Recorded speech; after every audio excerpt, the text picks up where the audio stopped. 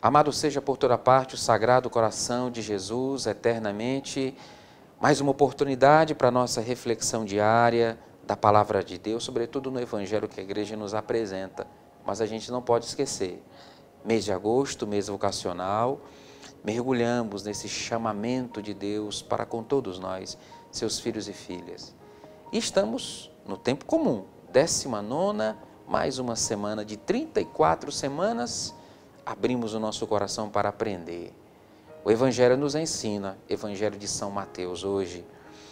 Pedro pergunta para Jesus: quantas vezes devo perdoar o meu irmão? Até sete vezes?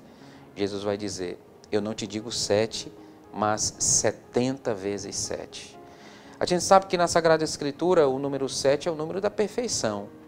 E esse número, quando fala de perdão, meu irmão, minha irmã, é para dizer: perdão não é resumido de uma forma numérica.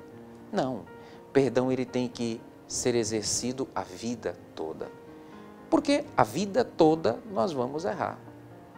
Hoje nós erramos, amanhã talvez novamente vamos errar de novo e assim sucessivamente.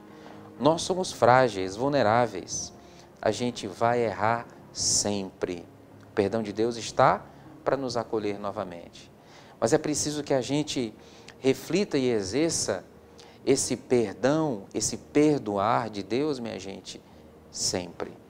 Um Deus que nos perdoa e a gente faz essa experiência de forma tão graciosa. Mas ao mesmo tempo é preciso que a gente exerça conosco e com os nossos irmãos e irmãs. A continuidade do evangelho de hoje mostra exatamente isso.